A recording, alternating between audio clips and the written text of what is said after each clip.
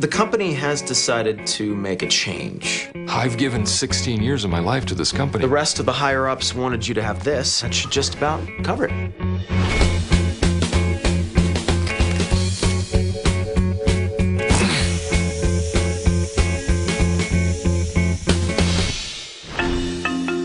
Bro, I'll give you uh, 10 bucks for that twack right there. Aren't you a little young to be drinking beers? Aren't you a little old to be drinking that slippery dick? Hi, uh, are you in there?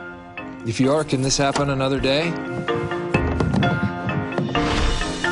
So are you getting rid of your old stuff? I got fired from my job, and my wife left me. If I'm honest, I saw this coming a mile away. Thanks for warning me. I've gotten some complaints about someone living on their lawn. This is my corner. I'm not leaving my stuff. City of Arcadia allows the property owner to hold a yard sale for no more than five consecutive days. This buys you three days. I was thinking, uh, you might want to come work for me. You stay here, maybe sell a couple things. What are you offering? Give you bathroom and cigarette breaks as required by state law. I don't smoke.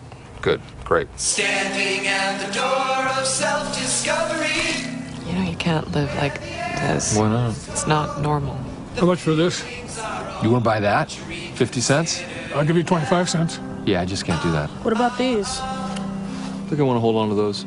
They're actually pretty valuable. You can put them in that same drawer in case you want to look at them. Once you get rid of all that stuff, you're gonna feel great.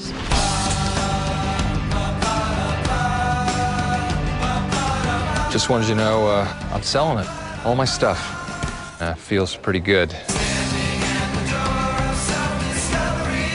Are we friends? I guess so.